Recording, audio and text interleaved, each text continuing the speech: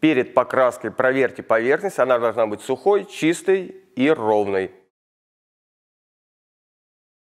Старую краску нужно зачистить и прогрунтовать.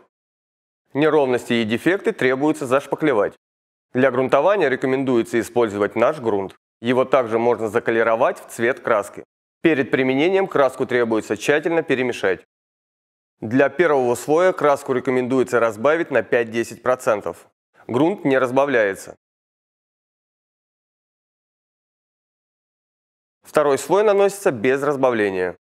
Чтобы удалить пыль с поверхности, нужно использовать влажную тряпку, кисточку, либо промышленный пылесос.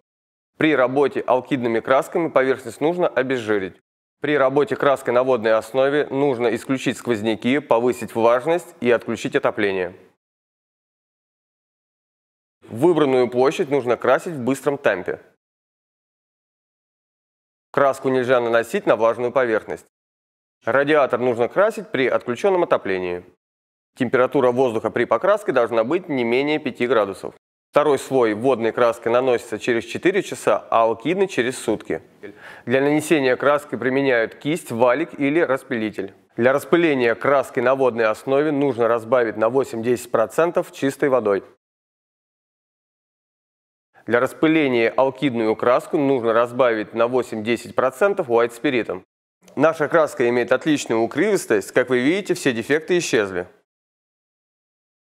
Советуем защитить поверхность перед строительными работами и передвижением мебели. Поверхность окрашена матовой водоэмульсионной краской, протирается влажной тряпкой без сильного нажатия.